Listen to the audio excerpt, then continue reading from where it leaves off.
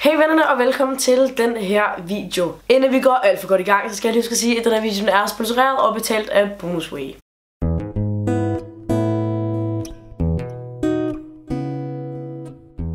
Bonusway er konkret sagt en hjemmeside, som hjælper dig med at indtjene penge, når det er, at du køber tøj. Okay, det lyder meget mærkeligt, men det er selv. Lad os sige, at jeg skal have nogle smykker fra Zalando. Det skal jeg faktisk også, og det har jeg faktisk også fået, så det er rigtig skide godt at tage udgangspunkt i det. Okay, så jeg går ind på Bonusways hjemmeside, og så logger jeg lige med Facebook. Du kan også gøre det med mail. Så connecter du dig lige med Facebook, og så kommer du lige ind på deres øh, hjemmeside. Og så går du lige op i de der butikker, hvor der står sådan tykkere. Og så kommer du ind på en, øh, en ny side, hvor det er, at øh, alle deres butikker er. Og det kan være alt fra bolig, altså det kan være freaking alt. Altså sådan, de har i hvert fald de mest sådan, de har i hvert fald mine yndlings online shop øh, hjemmesider. De har sådan noget som Zalando, og jeg tror jeg siger Nelly, og så har de ASOS. Fucking ASOS siger tak, ikke? Men så for hvert brand, der er der en individuel procentindkomst, som du så får tilbage hver gang du sådan køber noget. Det går lige bare ud på, at du trykker på den hjemmeside, du gerne vil ind på, så finder du en hjemmeside, så trykker du bare på den, og så står der sådan der, hey, hey, nu er du på det link, hvor du kan få 5%. Uh! Og de her penge, de ligger så på din bonusbrik-konto, indtil du har 120 kroner, og så får du dem så ind på din bankkonto. Så det er fucking lækkert, og 120 kroner er kraftedet mange penge. Men det er ikke kun, hvad den her video skal handle om. Den skal generelt handle om mine yndlingssmykker. Yes. Men jeg vil allerførst vise de smykker, som jeg har fået fra Zalandos hjemmeside af, og også dem, som jeg har fået de her dejlige 5% på. Det første, jeg har fået fra Zalandos hjemmeside, det er de her øh, pisse fine øreringe. De er lidt firkantet i det, altså ikke i sådan selve sådan formen, men i selve formen. Fuck, det lød dumt. Snow. Ej, det hedder ikke Snow, det hedder noget Snow of Sweden. Jeg, jeg ved det ikke, jeg har glemt det, men jeg smider i hvert fald en link til dem nedenunder.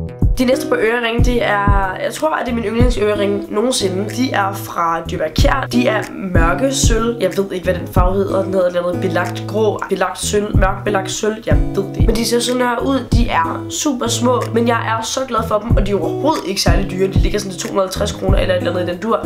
Også for Zalando af, der fik jeg sådan en her lille sød ring hjem fra Pilgrim, og den ligger også for de her 200-300 kroner. Og den fylder ret meget på min hånd. Jeg har små, tykke pølsehænder, ikke? Så den, den dækker sådan ret meget af mine fingre. Men det er ikke lige så meget mærke til, at den er skide lille i mine fingre. Og så er det egentlig bare pissefed. Det sidste, jeg har fået fra Zalando, og nok også øh, mit yndlingssmykke til dags dato, altså hvis jeg skal være helt ærlig, så øh, jeg havde aldrig fundet den eller kigget på den, hvis jeg ikke havde det her samarbejde, så tak for helvede, mand. Men, øh, men det er den her Kenzo-ring, den er så sej. Den har Kenzos logo foran, og så er den sådan ret stor, og så sætter den på ringefingeren. Den skaber ret meget attention, og så synes jeg, det er ret fedt, at der sidder en stor ring på ringefingeren. Og nu til så en hel masse andre random smykker, så øh, let's go. Det første video kan vi lige godt få overstået, det er de her øreringe, jeg har i lige nu, og de er egentlig bare fra NAKD's hjemmeside. De er faktisk guld, og jeg er ikke så glad for guld, men, men de ser egentlig bare sådan der ud. De er overhovedet ikke særlig tunge, de er super dejlige i, og så er de volde fede. De næste på øreringe er også fra NAKD's hjemmeside, og øh, det er faktisk nogle spøjs øreringe. Det er de her øreringe. De er også guld, øh, men jeg tænkte, at jeg skal jo have på guldøreringe, fordi nogle gange passer sølv ikke så godt ind til et outfit, eller så er det bare pænt med guld. Og så synes jeg bare, det var ret fedt at sådan gå all out med på guldøreringe. Sådan, hvis du skal et eller andet, så har du fandme også bare øreringe på, ikke? Men ulempen ved dem her er, at de er lidt tunge, og det synes jeg er pisse nederen, fordi det kan mit øre simpelthen ikke holde ud. Især ikke det her, fordi det er et meget nyere sådan hul. Jeg glæder mig til den dag, at mine huller er lidt mere stabile. Ej, hvor det fucking klam. Øh, så jeg kan gå med dem her, uden at det, at det gør ondt i mine huller. Super. Så har jeg egentlig også her et par Tessel-øreringe, som øh, har været sindssygt populære her til sommer. Øh, de er også lidt tunge i forhold til, hvor meget mine huller kan klare. Ej, det her det bliver en rigtig god samtale. Øh, og så har jeg dem faktisk også i en anden farve. Og den anden farve, de er dem her. Den kommer fra samme Instagram, så jeg lægger den bare lige i beskrivelsesboksen. Men de ser sådan her ud. De er grønne og gule, og jeg synes, de er vold cool. Og jeg synes, det er fedt, at det er sådan to farver, du ikke rigtig ser. Øh, man ser ikke rigtig sådan grøn og gul sammen, synes jeg. Og det synes jeg er lidt øve, fordi det er faktisk to farver, der spiller sindssygt godt sammen. Så har jeg faktisk her et par øreringe, jeg selv har lavet. Øh, og hvis det er ikke officielt en video, så kan jeg bare på i-kortet. Dem har jeg lavet, og så har jeg også fået nogle i øh, sin tid øh, sponsoreret af en Instagram-side, som øh, jeg også lige vil fyre i beskrivelsesboksen. Så har jeg et øh, mørkegrønt, sort, øh, guldagtigt par øreringe, som er fra Pilgrim, er jeg ret sikker på. Og de er egentlig bare mega søde og mega pæne, hvis du skal have nogle mørke smykker på. Altså sådan, der er nogle gange, hvor jeg virkelig bare synes, at de passer skide godt ind i et outfit. Så har jeg et par øreringe, som jeg købt inde i butikken Nord. Men det er sådan nogle her mærkelige viul-øreringe. Jeg ved ikke, de går lidt sjovt, sådan, som om man, du ved, kender ikke godt de der mærkelige ting, der hænger i træer. Og så når det blæser, så gør jeg det sådan der. De her øreringe minder lidt om. I like them a lot.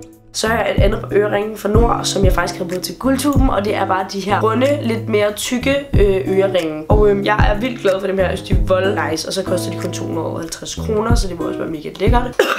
Det her er, det her er uden tvivl min mest brugte ørering. Jeg troede overhovedet ikke, at jeg ville bruge dem, fordi jeg tænkte sådan, ej, alle har de der runde øreringe, det kan jeg simpelthen ikke overskue og gå rundt og ligne alle andre. Øh, jeg går ikke så meget med dem mere, efter jeg har fået alle de her andre hvor dejlige smykker. Nu går jeg meget med de her små med kern. Jeg synes, de er så dejlige. Altså. Men de her de er egentlig også bare for pilgrim og kostede ingenting, så øh, det var super lækkert. Øh, men jeg har den her helt runde ring. Jeg ved ikke, man kan gense den lige her. Øh, men jeg fandt den egentlig bare i min stue en dag, og der er sådan en lille bitte diamant foran, og den havde ligget der sådan i vold altid. Og så var min mor sådan, at det her din ring, Emilie. Så var jeg sådan, nej, men fuck det, jeg tager den bare. Så har vi mine to elskede, elskede Garber-ringe. Øh, så tusind tak til Victoria for at have sendt mig dem her. Det er simpelthen for fantastisk. Jeg elsker dem, og jeg går med dem hver dag. Jeg tror godt, I kan se det på mine Instagram-billeder. Øh, men jeg har i hvert fald den, den her V-ring, som er sådan den lille af dem. Og så er den anden her. Så det er for mine to Garber-ringe, og jeg ved ikke rigtig, hvad jeg... Jeg føler mig meget nøgen, når jeg kommer på. Lad mig bare sige det sådan.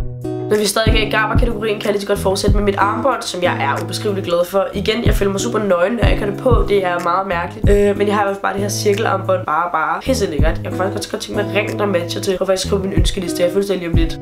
Sidste armbånd, der har jeg det her Daniel Wellington armbånd. Øh, men der står egentlig bare indgraveret Daniel Wellington her, og så er det bare helt rundt og meget, meget basic.